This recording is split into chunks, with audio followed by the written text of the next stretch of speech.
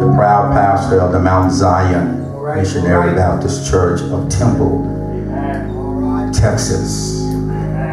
In his own way, the Right Reverend Dr. C.E. Maze. Why don't y'all give him some love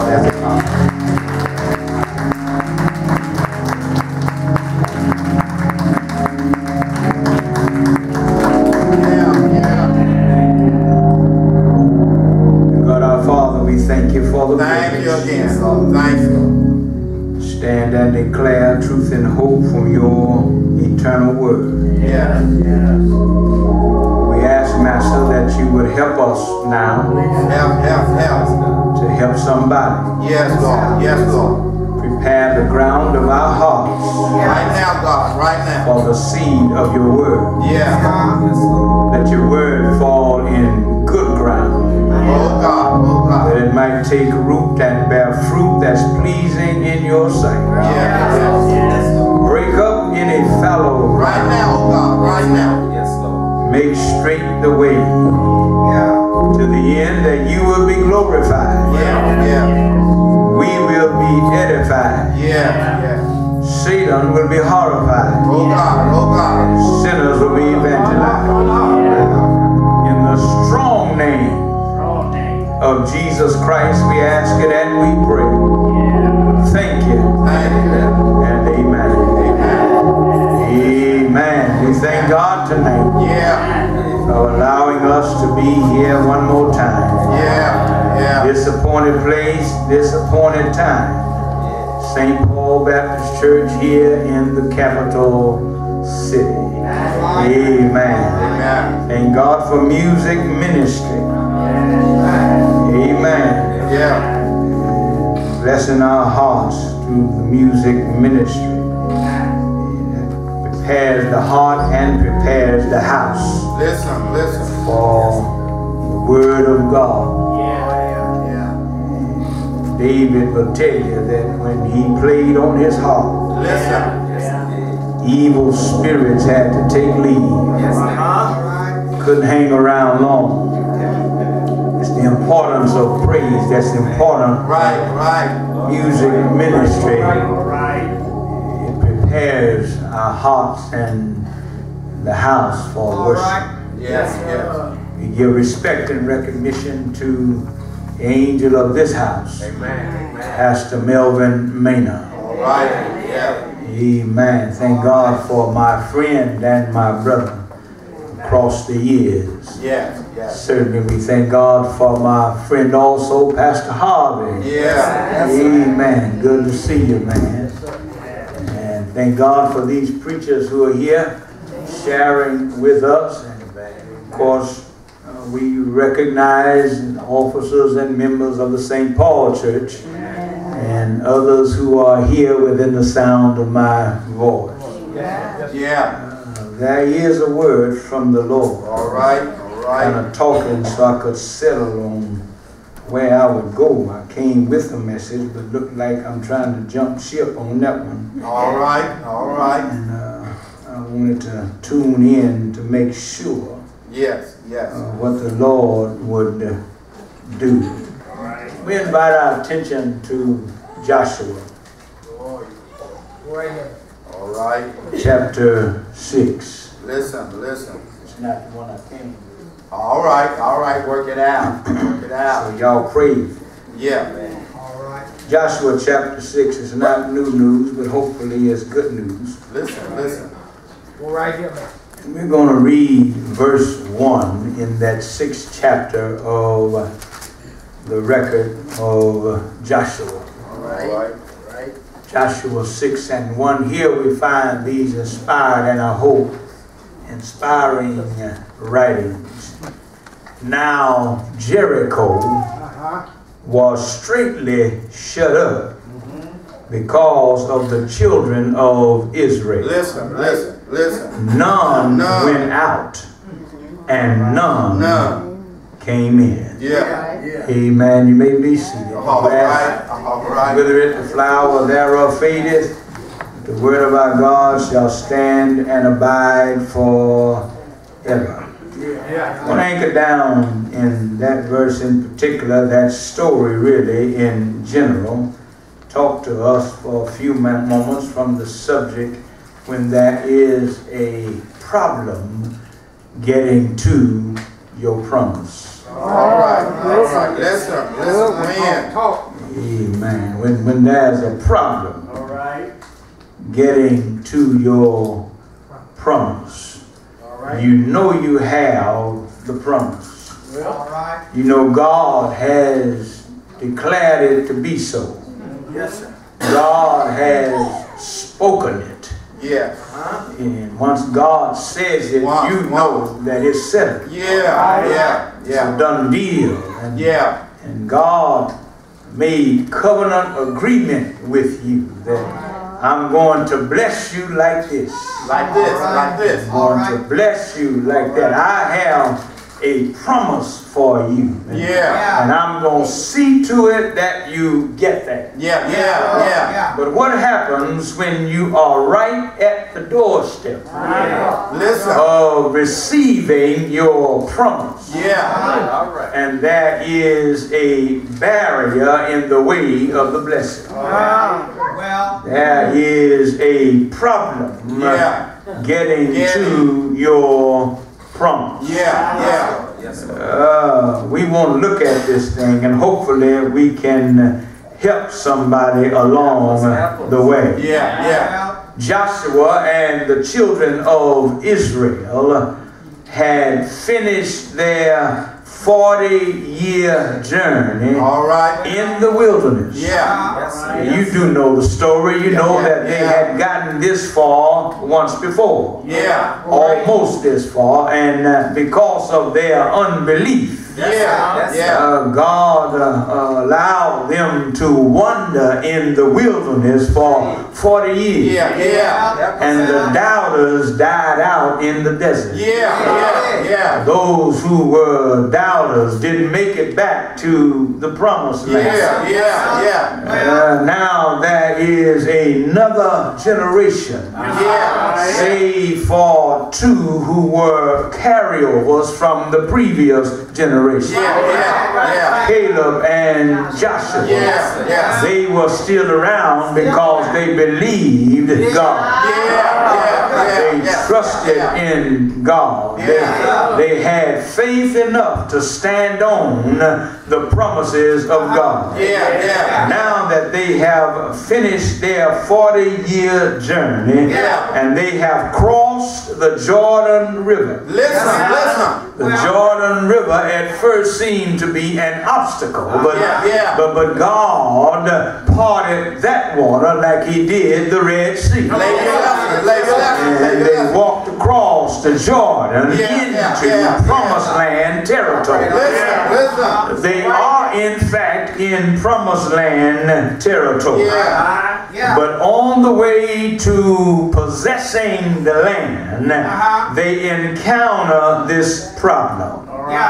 There's an obstacle uh, in their path. yeah, yeah, yeah. They run up against Jericho with its walls around this city. Yeah, yeah. Jericho is a fortified city. These walls are not thin, small walls. They are thick, large walls. Yeah, yeah. Most would say these walls are impenetrable. You cannot get through them. And Yeah, they yeah. had an advantage by being on their wall. They could see you coming from miles around. Yeah, yeah, And here are the children of Israel. They have wandered, they have walked, they have worried, they have gotten weary, and here they are now. We are here, and we are in promised land territory. Yeah, But yeah. now, look, we got to deal with Jericho. Yeah, yeah, yeah. Yeah.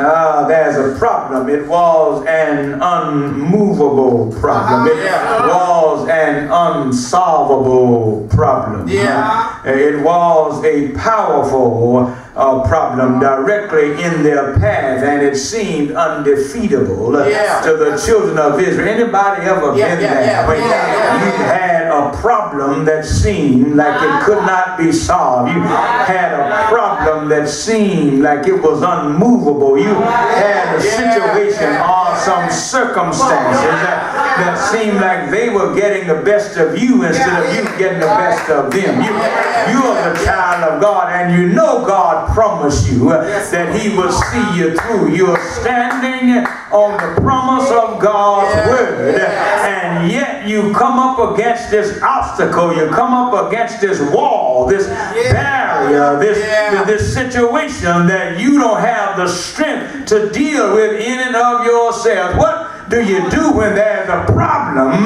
getting to uh, your promise? Yeah, yeah.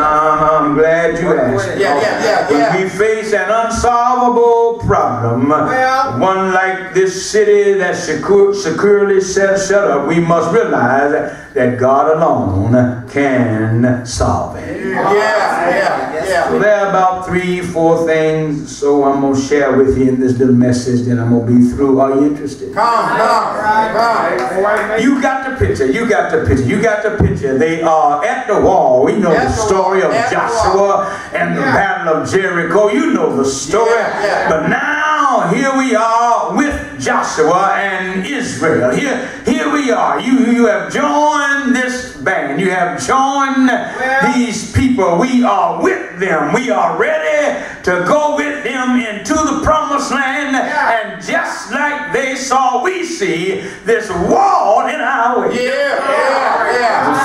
Thing you gotta do is you gotta struggle with your wall. First thing I gotta tell you, you gotta struggle with your wall. You cannot deny that there is a wall. You cannot deny that there is a problem. The first thing in dealing with the problem is admitting that you got one. Yeah, yeah. You don't have a witness. You- you- Don't, don't, don't try to be so holy and so heavenly minded till you say it ain't nothing. Just because you're a Christian don't mean that's not a problem. You, you ain't all of that. You got to recognize I've got a problem that I cannot solve. And you got to struggle with this problem. You got to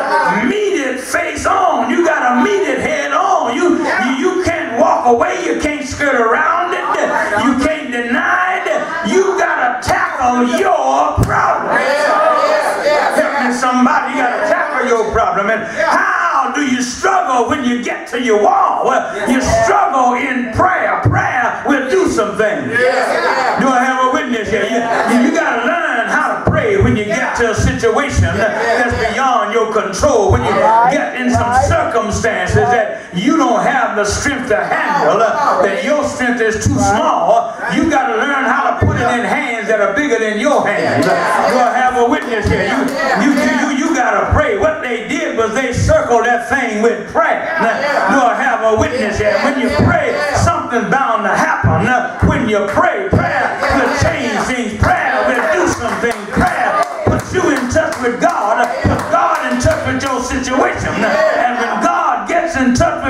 situation, he'll work on it, work in it, work with it until he works it out for your good.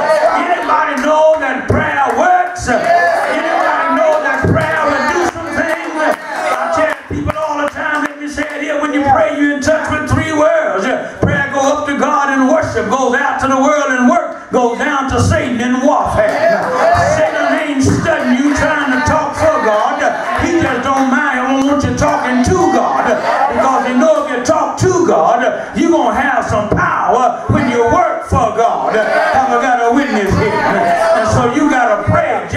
The children of Israel got to this wall, and I got a sneaky suspicion, if you don't mind, if I use my sanctified imagination, that Joshua had to steal away and talk to the Lord about this situation. I believe Joshua prayed.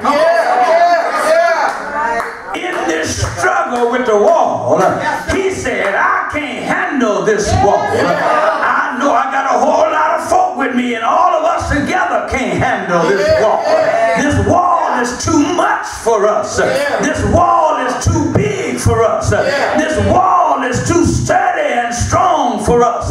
But I know somebody. I know somebody who can handle this wall. I know somebody who can give me what I need to make it to where he told me he wanted me to go. Now, God sent me to it, so God has to get me through it. To know whatever God's leads you to, he's going to send you through. Have I got a witness? And so Joshua had to pray in his struggle with when you're struggling and somebody looking at me now is struggling with some wall. You're struggling with some barrier. You're struggling with some blockade. You're struggling with some situation. You're struggling with some circumstance. You're struggling with some problem. You're struggling with some burden. You're struggling with some storm. You're struggling with some adverse circumstance. Some contrary wind just keeps on blowing in your life. You've done all you know to do. You rack your brain. You reach to the bottom of the barrel and still came up short. You can't do anything else. What do you do next when you don't know next what to do? When you're struggling like that, the only thing you can do is put it in the hands of the Lord. I got a witness here. When you put it in God's hands, it's going to be all right. Have I got a witness here? You don't have to take my word for it. Somebody sitting close to you can tell you when you put it in God's hand, it's going to be all right. First thing you got to do is struggle with the wall. But then, uh, if you if you talk to God in prayer, He'll give you a strategy Thank you, God. for your warfare. Haven't got a witness here. He, he'll give you a strategy for your war, warfare. Yeah, yeah. He, he, he gave Joshua a strategy to deal with this wall. He, he, he, he gave him a battle plan. He, he, he gave him a plan of action. Now, it didn't make sense, but he gave it to Joshua. And Joshua, being the obedient servant of God that he was, said, I'm going to follow God in spite of uh, the plan that not making sense to me. God said it and that settles it. If you wait on him long enough, uh, he'll give you a strategy on how to handle your situation. God will navigate you through your circumstances if you wait on him long enough. If, if you don't take off on your own, if you just be still somewhere, you'll know that he is God. God will give you what you need to handle your circumstances. Joshua, here's what I want you to do. Uh-huh. I want you to get these people together and I want you to march around that wall every day for six days. Just get them together, Joshua, and march around the wall one time.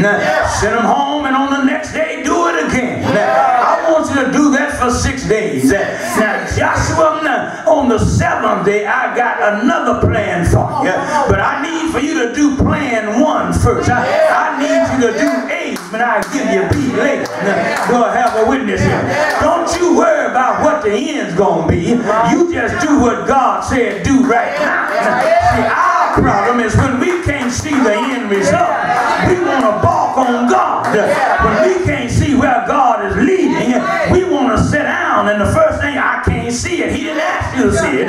He just asked you to do it. If you do it, after a while, he'll let you see it.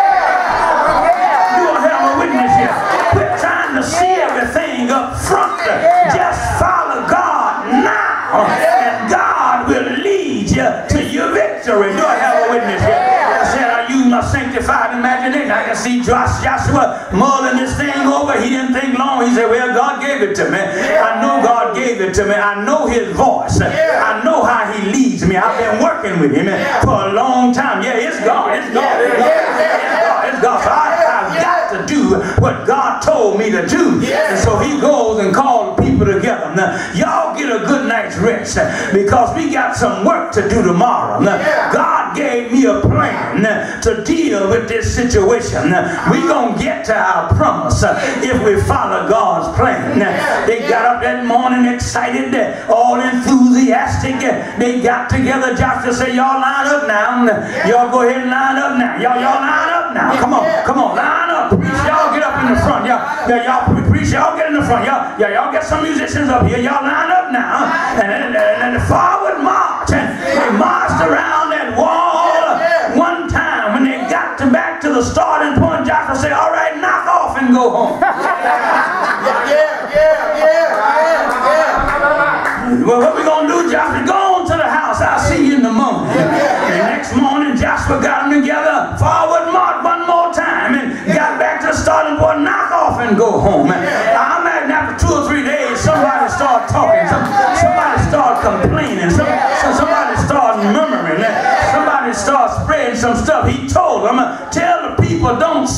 Nothing. I don't want them to talk. I don't want them to say nothing. Just march.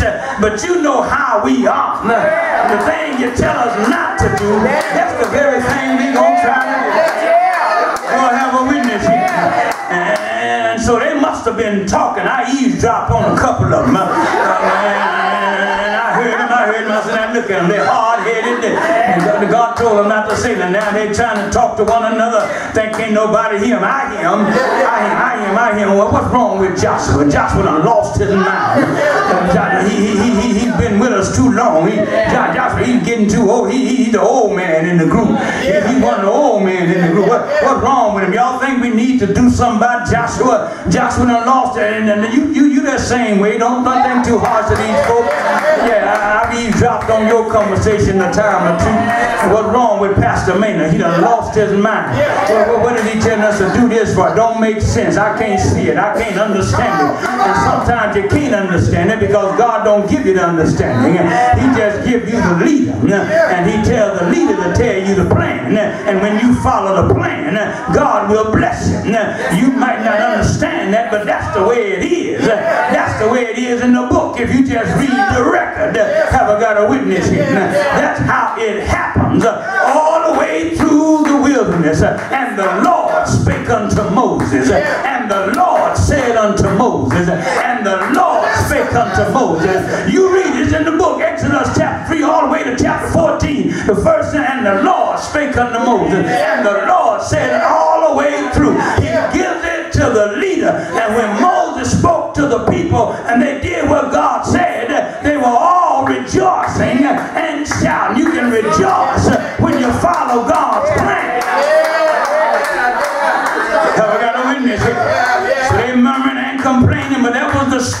for the warfare. They didn't need any weapons. They didn't know anything about any weapons. God was not going to shock them, talking about get you some stones and make you some arrows and some spears.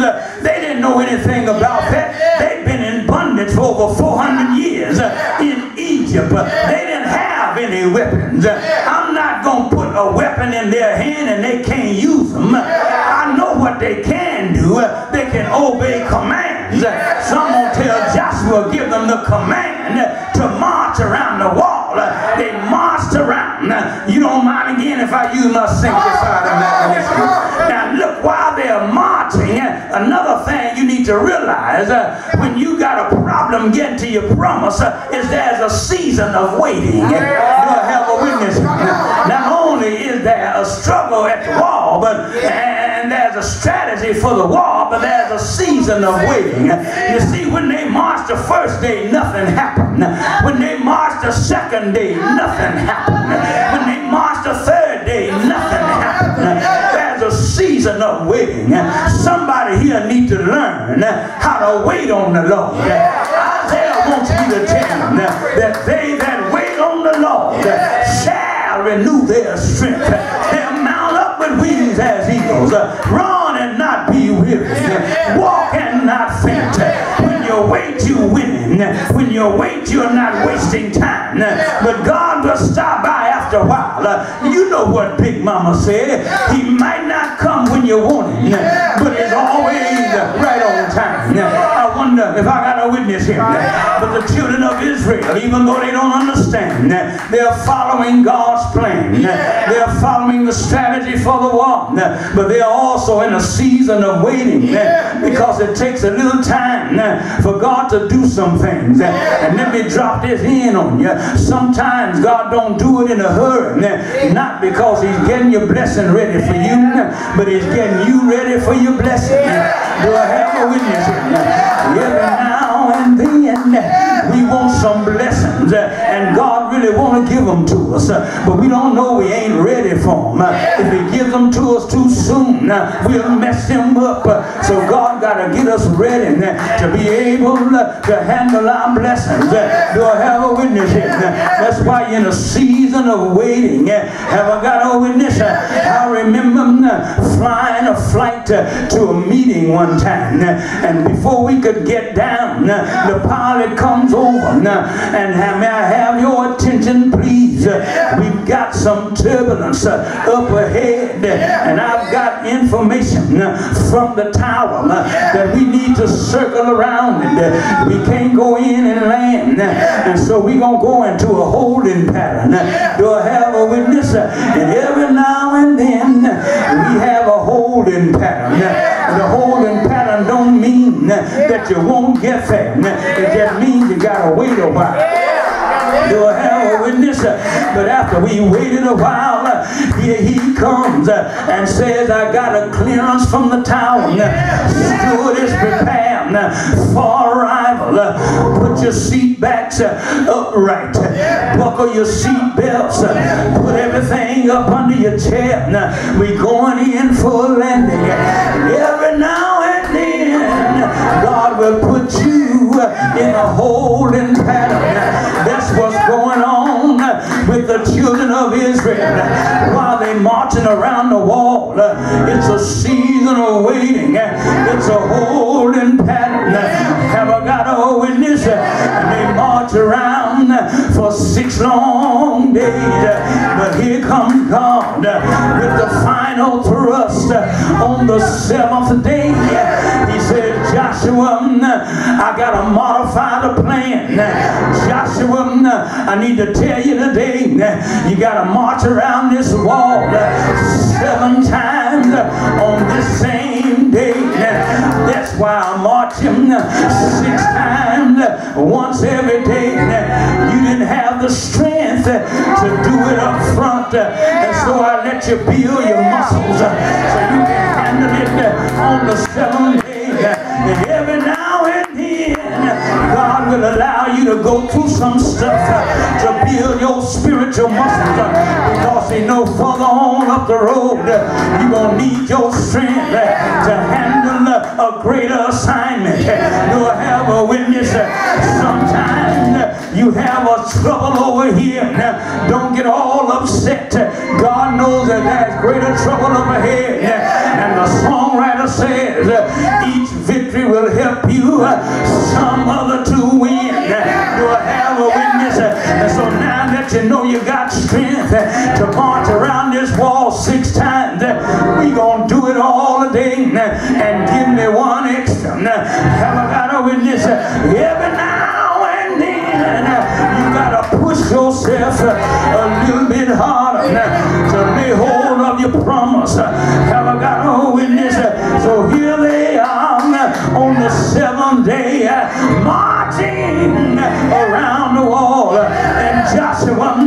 when you get around on that seventh time, I want you to have a praise party. Have I got a witness? When you get around on that seventh time, you need to make some noise. You need to play some music. You need to shout. Have I got a witness?